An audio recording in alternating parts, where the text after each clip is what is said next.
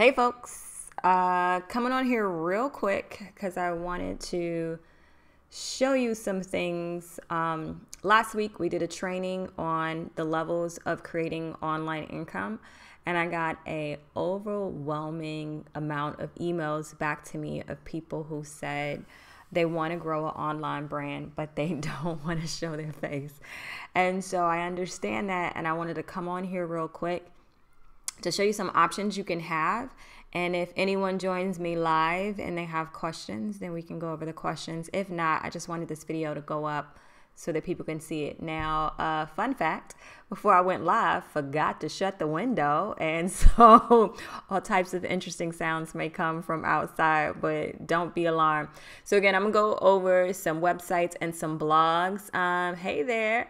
Um, I'm gonna go over some websites and some blogs so that you can see what I'm talking about in regards to these individuals grew their brand without showing their face. So if that is you, if if you are not putting yourself online because that freaks you out or it makes you nervous or you're just not comfortable, that is okay. All right. So hopefully by the end of this, you will see some examples of um, some folks that will show you how you can take whatever you know in your particular industry and apply that so that, hey there, um, so that you can do this in your own business. Okay, so let's jump onto my computer screen. Okay, so let's just look at a couple of examples of some people who've done a really great job in regards to showcasing what they enjoy and what they love or what they're selling without showing their face. And even though I'm bringing you to this blog and it has a picture of him, take my word for it. On all of his videos, his cooking videos, I've been an obsessed fan of his for years. He does not show his face. So he has some wonderful, amazing recipes. And he doesn't just show you how he cooks it. Just take a moment and check him out. He has a YouTube channel, which I'm also going to show you but he does just an amazing job of look making the food look appetizing and easy to do. So he specializes in i think assuming that the food takes about 30 minutes. That's always what i assume. It always takes me longer. Um, but just let's look at some of the ways that he's monetizing even on the blog. So we can see there are some ads on the blog. Here's a large one here and here's another one here. So in order to sell space on your blog you typically need more than 30,000 people in order for it to be advantageous. And there's various companies that will um, give you money for letting letting for advertising on your website. But until again you build the audience and you have enough people, don't stress over that. Just know that these are some of the ways that you can monetize your blog. So again, so he has ads and he probably has a variety of other maybe affiliate programs. I don't know. I don't know him. I just watch. Um, so here is some ads here that don't necessarily relate to cooking but with this which what i'm assuming is this may be a dynamic ad. So if people have already been on a website you know how certain ads will follow you if you're on this website? I wasn't on this website far as i know but yes so ad- advertising is one of the ways that he's eh, can can monetize his blog without showing his face. So he did a picture. You don't have to do a picture but also let me show you his youtube channel. Again there's a picture of him. Don't be alarmed um, most of the time, if you look at the videos, he's never shown in the video, right? So the good thing about that, because he has his blog and his YouTube uh, channel together, that way he's able to monetize with ads on YouTube and create that revenue stream in addition to on his blog and grow his brand on both channels. So whether it's Google search or Google video, you follow me? So yeah, that's uh, recipe 30. If you haven't checked it out and you love food or you love to cook, you definitely should think about it. But also think about in your industry, is there anything you can literally show people to how to do having the camera on your hands? Are you an artist? Um, do you know what is it that you do that you can show someone the actual um, project you're working on instead of your face. And you can just build content around that and you do not have to show your face in order to monetize. Okay. So I hope you'll, you know, feel that by the end of this. So this is um, Peach on a Leash and they offer a variety of different services that they give. And these are pictures of animals on their website and on their blog. They are not what and they're about. I'm sure they probably have a picture of them. But again, They are training and giving information in the area of dog training or probably services or products that could help dogs, right? So let's just head over to their blog really quickly. And let's just toddlers. Okay, and see down here, I see that there is ad space. Okay, so they they probably have enough traffic in order to sell ads on their website. But I will say um, you want to, when you do your back end of your ads, you just want to make sure that the ads are either consistent with your brand, like they make sense, like they're going to be about something about dogs or pets or that type of thing, or it is a retargeting ad that is basically taking the ad from somewhere the user has been before. So this is a um, web browser I never use and I clear all the cookies. So they, this is actually random stuff that they're putting up there that isn't necessarily based on what I search for or look for. Anyway, so let's say we're just picking a random blog what they could do after they write this very informative blog, the other way to monetize is to put links to products that you would recommend based on the topic that you're writing about. And basically all that is is affiliate marketing. And once you have a series of articles that pull that off, now you can start to monetize your blog accordingly. Don't get alarmed by what I said. I'll teach a training on that later. I just want you to be able to see that you can do this. You can go build your audience and you do not have to show your face. Okay. So let's look at this other one. This is a, a coding uh, website where this person shows you how to code. Coding is super technical. No one ever has to see your face. And so he's built a free guide, of course, to a blog, and of course his courses. So again, something like coding, no one has to ever see your face because really they're going to be looking at a computer majority of the time. So if you have good content, good valuable content, you can go ahead and monetize off this blog. I'm sure he's, you know, he has courses right here. So we know he's selling them. He doesn't have to even be in the video of the courses. It's just a matter of showing what he's doing. Um, let's see. Oh, he does have a picture of himself though, but you don't have to if you don't want to. Okay. All right. So let me just show you some, a couple of YouTube channels that don't show uh, the face. So this is Future Tech.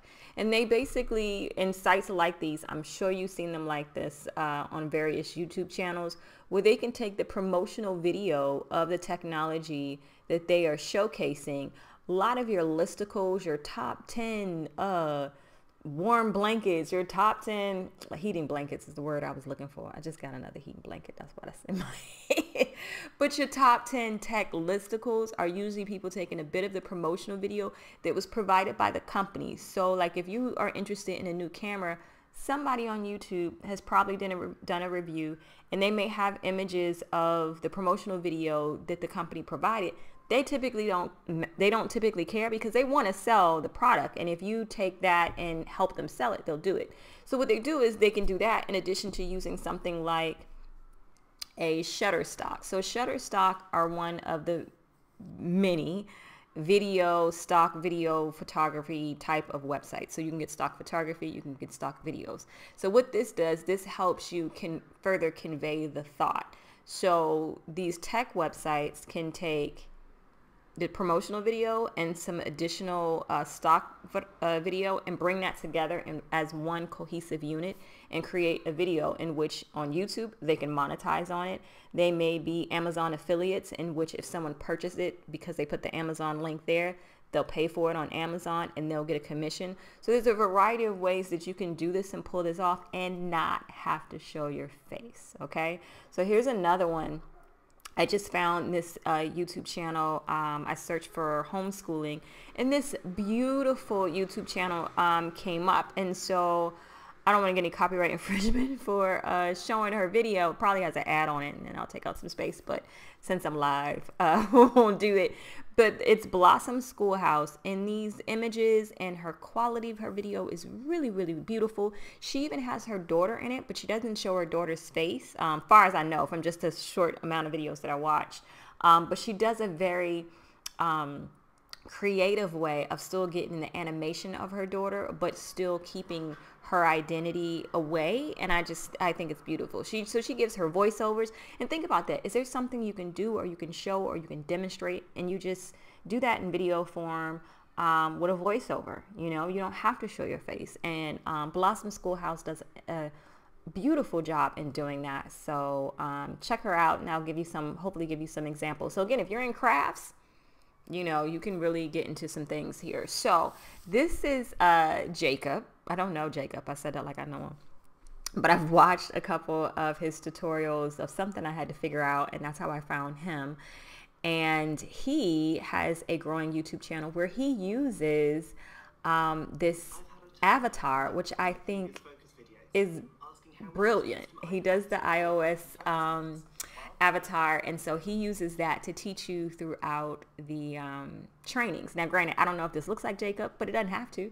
Um, so maybe you can think of an alter ego or animated character or something that's not necessarily you. You don't have to show your face, but you still have this person with personality, your alter ego or whatever that can still create engaging content for your audience. So again, his face isn't on there there is a face. I'm not sure if it is, but um, it's electronic. So think about that. So again, we're going back to Shutterstock really quickly because there are tons of websites that you could use that could um, get, give you video. Now, I know some people may not want to do video. Um, you may want to stick in the blog or the writing sector, and that's fine. Um, because many of you know I do digital marketing for like that's my job that video creates a level of analytics that you just can't get from pictures or images, which is why so many of the online platforms are pushing video so hard. So I don't know if you heard about Instagram, but Instagram basically is like, look, we don't care about pictures anymore. We care about video. So if you want to do video, there are these sites like this that can take the content that you have and you can use these videos as filler. Now, the videos are not free. Images are not free um, because you have to pay for licensing because somebody else created this for so you have to pay them for that. So this is not necessarily what I would recommend for my folks who are just starting out. But sometimes you can come onto these websites and see what the videos are, and then it could get your mind thinking like, oh, well, I can just go shoot this myself, and that can convey the point I want to add to my video. So maybe you can use it for some some creative thought just to get your get your mind and your juices flowing um, to figure out how you can convey what you want to convey for your audience um, through video. So Prezi, Prezi is a awesome software. I feel bad that I feel like people don't even mess with Prezi anymore. And Prezi has been out for shoot at least a decade. I feel like I was an early entrepreneur before I met Prezi. But Prezi is such a cool software because if you think about PowerPoint or Keynote, um, sometimes people, people can see those and be like, oh, not another PowerPoint presentation. But Prezi does a really good job of creating animation for your thoughts and still making things look beautiful. So let me see if I can find some examples. So I get it. You could do a video too if you want to. I know they're showing their faces, but don't be alarmed. Hold on for a second. Hold on, hold on, hold on. So let's see if I can get you one of their templates so you can see what I'm talking about. Okay, see, see how that's moving? And doing some things and you like, okay, like, you know, it's so beautiful in action. And then if you do a presentation, everybody's always on the presentation like, how did you do that? Like a lot of times when I used to use Prezi, um, I would, you know, do this in a in a presentation. People like, what what are you what are you using? And you always want to keep um, your folks uh, like that wondering so that you can um, continue to show your value, right? So Prezi is a really, really great software. And they do have, if I'm not mistaken, I haven't been here forever. They do have a free version. So good guys, look, we're in the world of you know, virtual events and that type of thing. People are doing Zooms. You can add this to your Zoom presentations and wow your audience and give them something new and animated that they haven't seen before. And that is what continues to increase your value because you you're doing something different. You're being creative. So i really want you to check out uh, prezi. And i'll try give me a minute. I'll try to put the websites links to stuff. Um, i'm not affiliated with any of this stuff. I just wanted you to start to to think about how you can do this so that you will get off of this and go implement or at least write down the list of things you need to do to get started okay? All right uh, Animoto. Animoto is another old school banger that's been out for shoot. Animoto was like the first time when we didn't know how to put like well for people who didn't know like major video editing software because I think back in those years it wasn't easily accessible to everyone as it is right now. Now you can have it on your phone. But Animoto is also a great site for if you want to combine pictures and video and you want to put, um, you want to put, what am I saying, words on your video or just have something look dynamic. It's super easy. It is for those individuals who might be a little tech challenged. You don't want to go buying some expensive software, but you want to create some visuals. Like here are some examples here. Um, let me see if I can find, let's see. I don't know. Let's just go looking for this. What is that? So again, they bring in some pictures together. They're adding some video. They put some, so you could just make your presentation and have it, you know, look like that. You know what I mean? So check out Animoto and let's see what their pricing are. I think they have a free option as well. So you can play around. You guys, again, you know I'm in Europe, so they're giving you all the Europe stuff. Um, play around with these different softwares and just see if it gets your mind kind of moving as to how you can take your brilliance, make it visual, or, you know, put it in writing, but you don't have to show your face. Okay. I don't want you to not grow your audience just because you don't want to show your face. I get it. Showing your face is stressful. so that is Animoto. Check them out. And of course, everyone knows about Canva, right? Um, if you don't, please go check out canva.com. It is a super, super awesome website. I swear I use it like every single day. Um, and check out of it in your home country so it won't say things in Portuguese. You guys know I'm in Portugal, so um, this is what you're going to get right now. But if you haven't heard of Canva, check them out. You can do videos, you can do presentations. It's very dynamic. It will create things for you in various social platforms um, if you want. So, yeah. Okay. So, I hope that got you got you some ideas as to what you could potentially do to show or excuse me grow your audience without showing your face. So i came on here real quick. I didn't expect anybody was going to join me live. So if anyone has any questions while we're live i'll go ahead and answer those. Um, if you don't have any questions then i'll go ahead and hop on. Hey good to see you all right, let's see who we have. Good morning, good morning, good morning from DC. Yes. okay, all right, we don't have any questions. I know that was, you know, something short, something quick. But again, if you um, were struggling in this area and you weren't creating content because you didn't want to show your face, I want you to go ahead and after looking at this video, go and write your action list on how you're going to um, grow your audience. You can pick the format uh, that you enjoy because that is the only way that you're going to do enough content to make it worth it. Okay, so if you enjoy writing, you can look at blogs. If you enjoy video, of course, you can look at YouTube. But like we spoke about last week, don't stress about, oh my God, I don't know how to create a blog you can get that information. The hardest thing is actually creating the content because what you don't want is you got all excited. You went and bought a hosting account, you went and bought a domain name, you did all this stuff, and now you have three articles on your blog for the past four years. Okay, so that's not what we want. So that's why I'm always encouraging before you sign up for anybody's class, including one of mine, be sure you have the content and you built the content up first. I prefer 50 pieces of content. I know that sounds like a lot, but guys, we're talking about building a business. And what business do you think can be created with just three pieces of content? Like that's let's just be logical on that. That's not a thing. So if you really want to do that, um, you're going to have to put the content out there. So just if you start, just go ahead with 10 to 15. And if you have a rhythm and you know you can continue to produce, then you can go ahead and start it. And then hopefully that will give you the momentum you need. So I do think we have some questions coming in. Hello from England. Hey there. Uh, let's see. Good to see you. Welcome. Any questions? Thanks for the examples. Good. Does showing your face uh, yield? Let me get that. Hold on. Okay, uh, does showing your face yield more though? Yield more what specifically? When you said yield more, what do you mean more what? Um, do you think sensory videos like rain? Uh, that's a good question. Let's talk about that one. Oh, it's too big. Let me make it smaller. Can I make it smaller? Hold on, y'all. You know I struggle with the comments. Make this a little smaller. Let's do that. See. All right. So, do you think sensory videos like rain meditation videos is a good market for YouTube? Absolutely. I am sure that you have seen some on YouTube already. um, and just to understand what the um, what the market is, just Google it.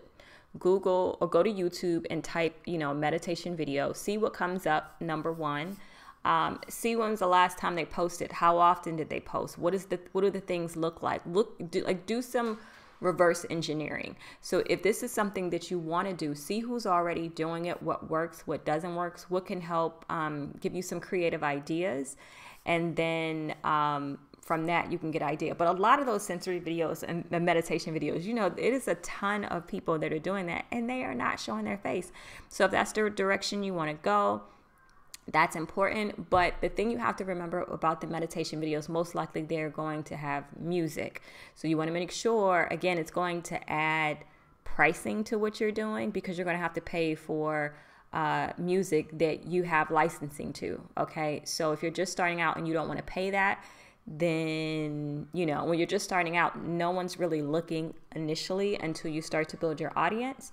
So think about those uh, costs uh, when you decide to make that move. So I hope that that's helpful. Okay, so does it help with engagement? So it really depends on what your market is. Like we're talking about, we were just talking about the sensory videos. There are no videos on there. Oh, the A, what is it that the people watch? Just the AMSR? I don't remember, but it's some category of stuff out there that people just watch people random stuff and it has a sound it's relaxing i don't know but it's a whole category. No one's showing their face. So saying if it has um, does it have more engagement it's always everything's going to depend on your industry and what you're doing. If you again if you're doing makeup tutorials of course you're going to need to show your face because that's going to help you with your engagement. But if you're doing something like tech or crafts or um, anything like that you don't necessarily have to show your face. And if you're doing a blog, you don't have to show your face at all if um, writing is more of the option. So don't let that stop you. Uh, you said, I only, I've also subscribed to people who only show themselves from the neck down. See? There you go. so there's a there's a way of showcasing your brilliance for everyone. So I just wanted to come on here real quick, give you some examples so that hopefully um, it'll get your mind and your creativity flowing. But I I kept y'all longer than I had anticipated. If there's no more questions, I'm gonna hop off because I didn't anticipate anybody would be here with me live. So until next time, guys, it was a pleasure.